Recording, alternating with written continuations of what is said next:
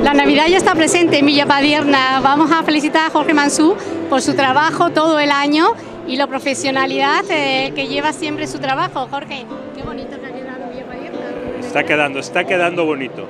Ah, todavía hay más trabajo. Sí. Nos quedan unos años, estamos trabajando para tener el mejor hotel de la costa, para no decir de España, y vamos por buen camino. Llevas una larga trayectoria, estás acostumbrado a hacernos disfrutar de la fiesta y sobre todo en esta, que son entrañables, que es la Navidad.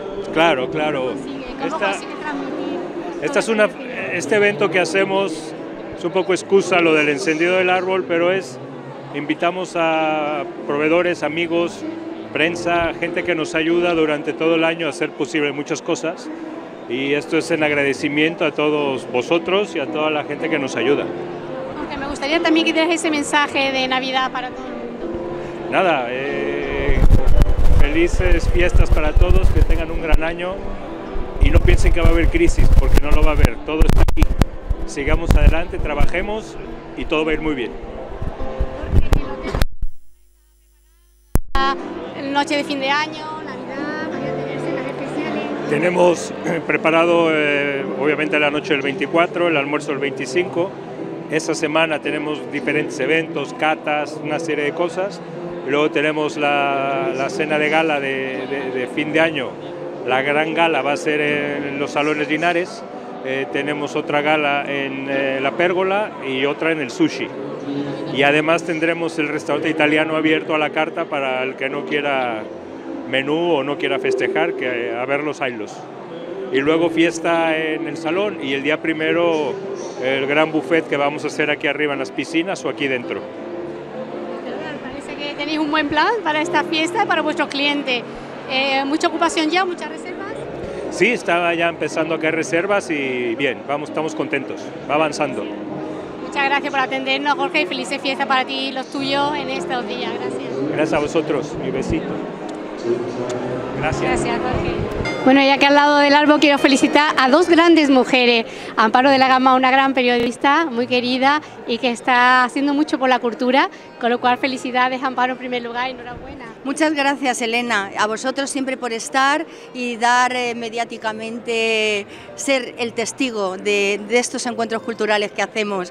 Y hoy es un día que no solo van a encenderse las luces en el Villapadierna porque es el encendido, sino porque tenemos a una grande, una de las más grandes de la literatura en España, y no lo digo yo, lo dice Juan Goitisolo, o sea, ni más ni menos. Estamos con Nuria Maz, que viene por tercera vez al foro de encuentros con la cultura, nos presenta su libro Memorias de una mujer libre, que, bueno, su vida es de novela, o sea, tenéis que leerla y tenéis que escuchar el encuentro que vamos a hacer ahora, porque os va a fascinar, pero la tenéis aquí al lado, así que podéis... Preguntarle. una mujer 10 también, felicidades por esa trayectoria profesional, tantísimas cosas como has hecho, tantos libros también, y esa biblioteca que tienes en casa, que es también impresionante. Y, viva también. Biblioteca viva, ¿no? Pero a mí me gustaría saber, porque son memorias, ¿no? Son realmente... es- Desde, desde el nacimiento, un poco desde pequeña hasta, hasta el día, se terminan, son cronológicas, hay digresiones, cuento historias entre medios mías, pero sigue el orden cronológico más o menos y terminan casualmente con la pandemia. Claro, no puedo seguir porque ya se termina el libro, ¿sabes? ¿Cómo es escribir de uno mismo? Mira, es, es un reto. Yo hacía años que lo quería hacer, pero no me atrevía, sinceramente, porque para mí el reto es decir la verdad, no inventar, porque para esto ya hago autoficción, novela, pero quería escribir lo que a mí me ha pasado, lo que he vivido, que, hombre, todas, todos tenemos una vida interesante, pero tal vez la mía es, bueno, es especial, una vida de escritora, de una mujer que nació en la época de Franco, que, es- he hecho- que he sido libre, o sea, que he hecho siempre pensando en los demás, pero siempre he hecho lo que he querido hacer, ¿no? Y ahí se ve muy bien en todas las páginas, si, si siguen. Bueno, dicen que atrapa como una novela o más, me dicen. La, la impresión que nos va a dar esto es un retrato o una proyección. No, no, se va, va a encontrar la vida de una mujer, de una niña, después de una mujer, y la vida es testimonio de una época también. Y a lo mejor, por ejemplo, esto me puede gustar, en las librerías que, vo- que voy siempre, cuando sale el libro, que tiene bastante éxito, la verdad, eh, me dijeron, vienen más hombres que mujeres a comprarlo. Imagínate, o sea que esto, esto es, y es una feminista nata y además, Elena, tengo que decirte, pues, que la emisora la tenéis aquí en Marbella, que hay capítulos dedicados a Marbella y retrata a una sociedad de estas marbellí. Eh, que bueno, es muy interesante cuando compréis el libro el que veáis quién es quién. Hay un gran amor que se llama Tristán y a raíz de este gran amor van a ir rondando personajes de, de, la vida marbellí. Y yo tengo que decir... Por ejemplo, he tenido la suerte que mis libros han sido como mi pasaporte a la literatura, porque los, leyeron sin que yo dijera nada. Carlos Fuentes, Juan Goitisolo, Mario Vargas Llosa, y cuento como los he ido conociendo a todos. y, no he conocido, he entablado una amistad. En casa de Gabo una semana viviendo, o sea, pero esto me lo ha dado nadie, o sea, esto me lo ha dado la literatura, o sea, los libros que llegaron a América Latina, ¿no? O sea, esto es muy bonito y esto lo cuento en el libro también. ¿Sabes lo bonito también que hay? Que nos cita a encuentros con la cultura. Como hemos venido, ya ha estado en dos ocasiones con nosotros, pues habla de la vez que estuvo aquí en Villa Padierna y tiene una mención para nuestros encuentros con la cultura que es de agradecer. ¿Tiene moraleja el libro? No, no, no sinceramente, o sea, no, lo que tiene es... es que sincero, que hay que ver sobre todo. vergüenza. No, vergüenza no tengo porque soy escritora, todos vivimos una época que podemos decir lo que, lo que queremos y lo que pensamos. No es un ajuste de cuentas, aunque en algún momento hay dos o tres, bueno, si te han hecho mucho daño en un momento, profesional a lo mejor lo digo, ¿no? Y cuento, y siempre, siempre con testigos. Nadie puede decir esto no es verdad, ¿sabes? Y si lo dicen es porque se lo inventan comprar el libro, ¿no, Amparo? Hay que comprar el libro, siempre tenemos que comprar libros, los libros nos salvan, es siempre mi frase favorita. Y más en este caso, un libro tan bien hecho como es el de Nuria Mat. Bueno, esto que dice que está muy bien escrito, que tengo, tengo, si has entrado en la web mía, has entrado lo que dice, no, lo has visto lo que dicen, ¿no? Pues, eh, por ejemplo, hay una que dice se lee como una novela, hombre, que digo, no es una novela, pero sí se lee como una novela por el estilo, por la forma de escribir, ¿sabes? Por cómo, por cómo, por el tono narrativo que empleado. Es que hay de todo, ¿no crees que va a ser? Porque como ha citado a estos grandes personajes internacionales del mundo de la literatura, pero cuenta sus anécdotas con Miguel Bosé, con Mercedes Milá, con Mercedes Milá. Y mucho antes. Y mucho antes. Y la universidad, con, he hecho, he activista política también, o sea, cuento mi vida entera, de vida de mujer, mis, mis amores, o sea, todo He leído que vivía cerca de un psiquiátrico. Delante, exactamente así. Delante de un manicomio. Porque todo se llama manicomio, ¿verdad? De hecho, el último libro antes de este, eh, que había escrito El Sanatorio, que estuvo presentándolo en encuentros, pues eh, es un retrato de esa Cataluña que tenemos tan sumamente atizada y dividida. O sea, en negativo, claro. Yo no soy independentista, ni nacionalista, ni separatista. política, pero no. Porque soy, soy normal. si, tuviera que salvar, si tuviera que salvar el mundo, me metería en política, ¿no? no, porque siempre he tenido, tiene que ver con lo de mujer libre, porque siempre, no, salvar el mundo no, pero siempre he sido muy comprometida, en el colegio ya lo era, decía, me tenía que pelear con las mujeres, me peleaba, decía, esto no es justo, o sea, ya es mi manera de ser, o sea, en fin, y ya no lo he podido remediar. Ya gustaría que diera un mensaje, ya estamos en víspera navideña y no sé cuándo te voy a volver a ver, así que un mensaje, primero Bueno, pues un mensaje, claro, es repetitivo de paz, ¿no? pero sinceramente de paz mundial, por supuesto europea y española, porque realmente aquí lo que está pasando en España también es un problema con una Cataluña que ahora ya la secesión parece que va a ser en la moda de, los, de las comunidades de, las, autonomías de España. Entonces, yo quiero de entendimiento, paz eh, y, verdad, basta de mentiras. Mi deseo para esta Navidad es que rompamos la crispación, ¿eh? que estamos en una época de confrontación y al menos, por favor, en Navidad, estamos en Navidad, que haya paz y amor, solo eso. Muchas gracias, enhorabuena muchas felicidades y que sea de venta máxima aquí también en Marbella, no solo en Cataluña, sino aquí, que de verdad sea muchas las Quiero mucho, ¿eh? Bueno, he tenido la suerte, entre muchas otras, que este libro me ha traído muchas amistades y buenas amistades. Y una de ellas es Natalia Escalada, que es una gran profesional, gran periodista, con un gran historial, que leyó el libro, le gustó mucho, habló con mi editorial, con Imelda Navajo, y le pidió mi teléfono y a partir de ese momento nos hicimos amigas, vino a Barcelona, yo estoy aquí, en su casa, y me va a presentar el libro. Natalia, encantada de conocerte. ¿Qué tal? Encantada. Yo creo que eh, cuando se tiene una amiga, ¿no? Que dice un amigo es un tesoro, ¿no? Y cuando compartís también muchas experiencias, ¿no?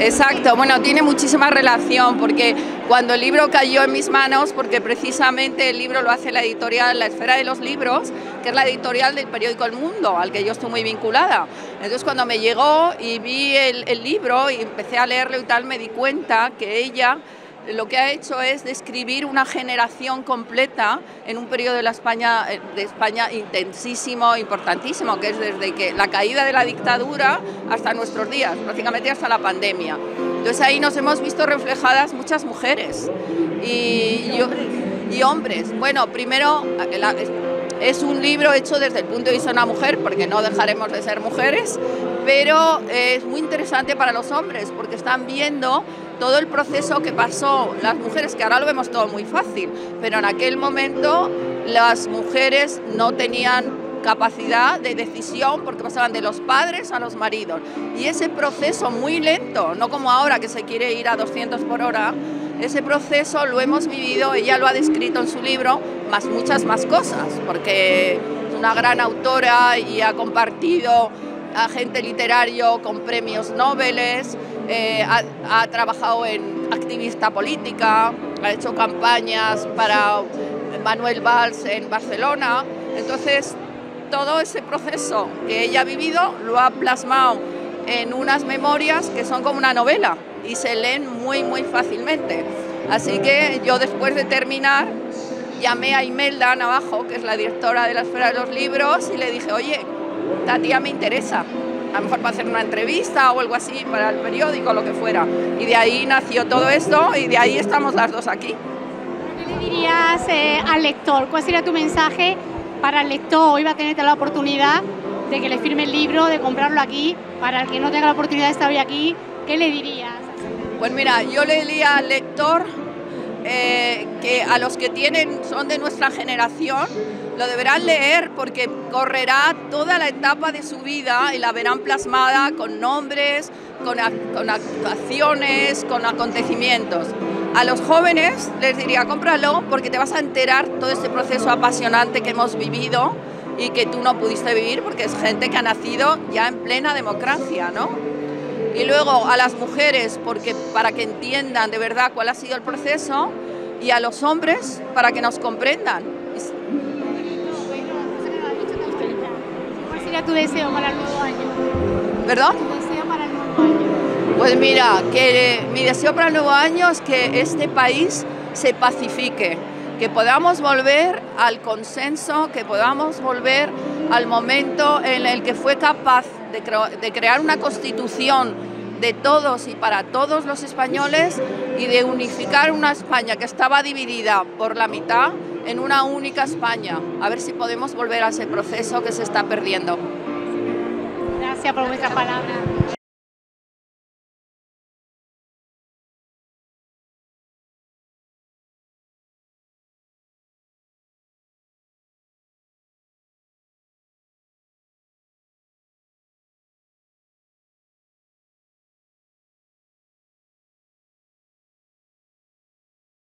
Saludamos a don Ricardo Arrán. Ricardo, qué fecha más bonita para uno, para otro no tanto, pero para mí el espíritu está aquí en Villamadierna ya. Claro que sí, aquí, aquí lo tenemos. Hoy es una, un buen día porque es la inauguración de, de la Navidad y vamos a ver que si ya empezamos una época, una época nueva para todos. ¿Cómo ha sido este año? Porque no habéis parado los eventos con la cultura también, se han hecho reconocimientos a personas increíbles como el Conde Rudy, se ha contado la vida de muchas personas que es interesante y se ha hecho aquí.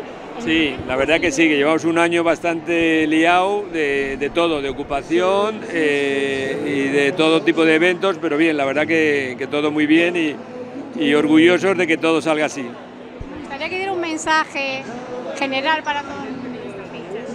Bueno, mensaje que hay que tener positividad y hay que salir adelante. Es el mensaje más importante. Gracias Ricardo, felices fiestas para A vosotros. Gracias. Saludamos al alcalde, bueno, alcalde, qué alegría saludarle en estas fechas también tan cercanas ya a la Navidad. Ha sido un año duro de muchísimo trabajo, lo hemos visto día a día, todos los comunicados, todo lo que había hecho. ¿Cómo lo resumiría, alcalde?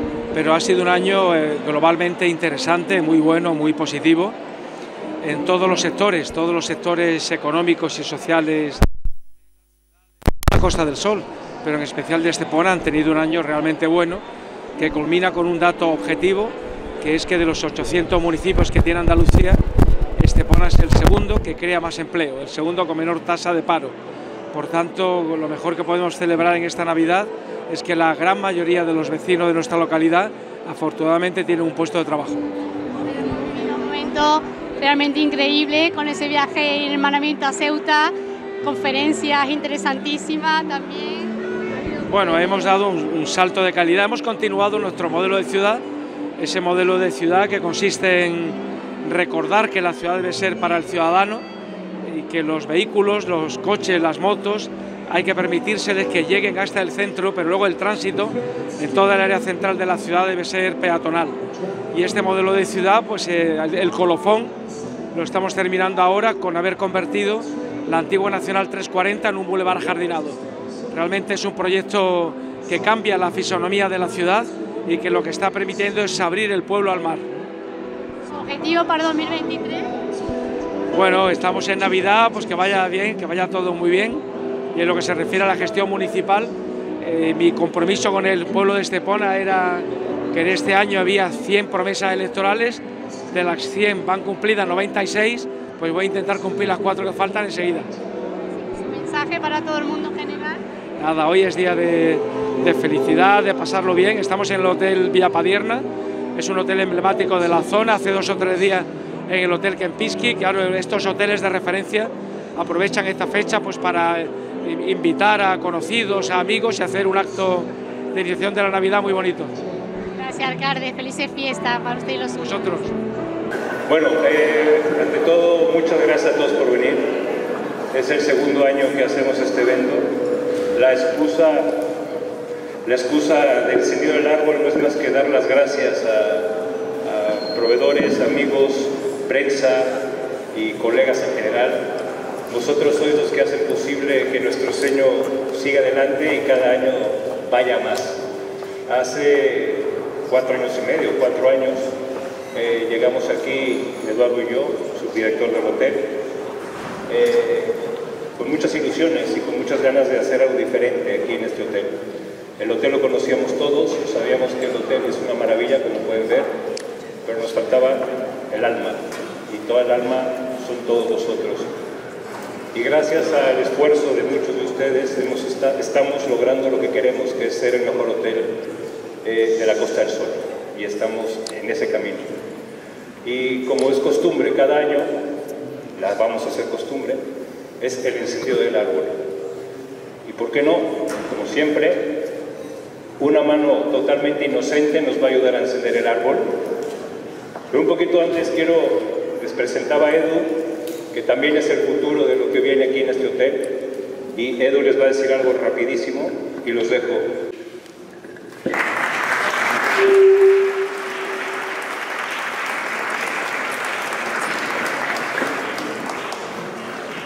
Buenas noches a todos y de nuevo, como decía Jorge Manzur, muchas gracias por contar o por aceptar nuestra invitación y venir en esta noche tan especial para, para nosotros.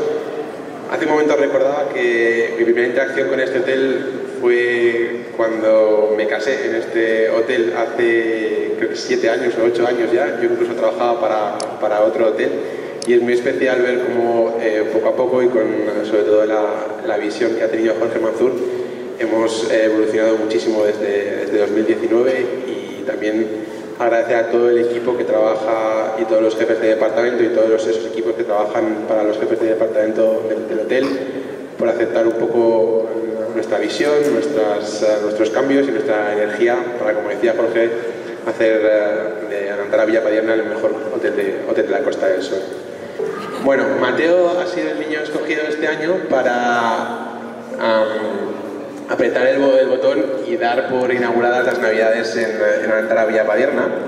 Mateo, ¿quieres decir algo? Hola, feliz Navidad a todos.